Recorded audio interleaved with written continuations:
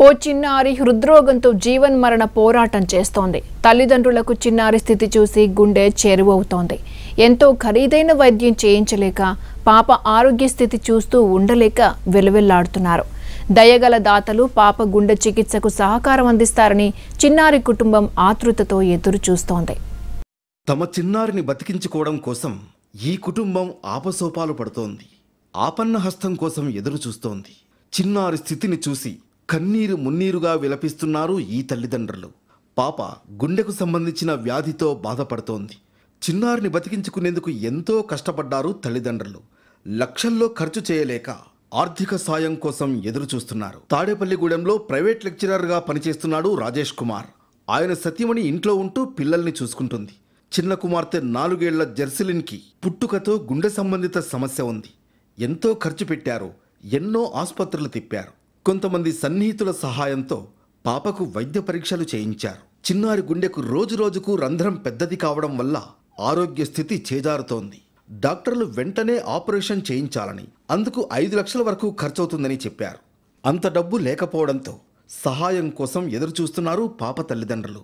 దాతలు ముందుకు వచ్చి తమ బిడ్డ ప్రాణాలు కాపాడాలని కోరుకుంటున్నారు. చిన్న పాప పుట్టిన మూడు నెలలకి చిన్న పాపకి హార్ట్లో చాలా హోల్స్ ఉన్నాయని ఆంధ్ర హాస్పిటల్ వాళ్ళు చెప్పడం జరిగిందండి. తన వెయిట్ గెయిన్ అయినాక తనకి సర్జరీ చేస్తామని చెప్పారు సార్. తర్వాత ఎనిమిది నెలలప్పుడు తను తీసుకెళ్ళామండి. తీసుకెళ్తే ఆ హోల్ ఇంకా పెరిగిపోయింది. మా వల్ల కాదు అని వేరే పెద్ద హాస్పిటల్కి హైదరాబాద్ తీసుకెళ్ళమన్నారండి.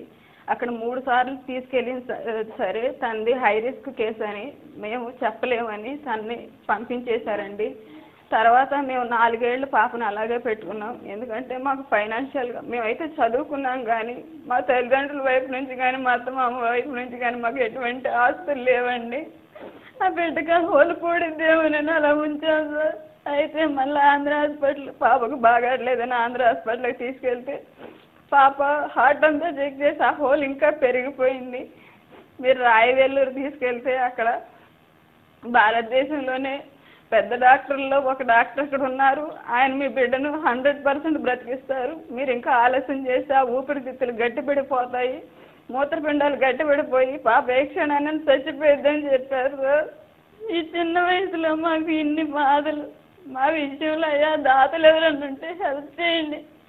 అయ్యా మీరు మీ కుటుంబం చల్లగా ఉండాలయ్యా మా విషయంలో హెల్ప్ చేయండి అయ్యా ప్లీజ్ దాతలు స్పందిస్తే తమ చిన్నారి జీవితం మెరుగుపడుతుందని చిన్నారి తల్లిదండ్రులు వేడుకుంటున్నారు.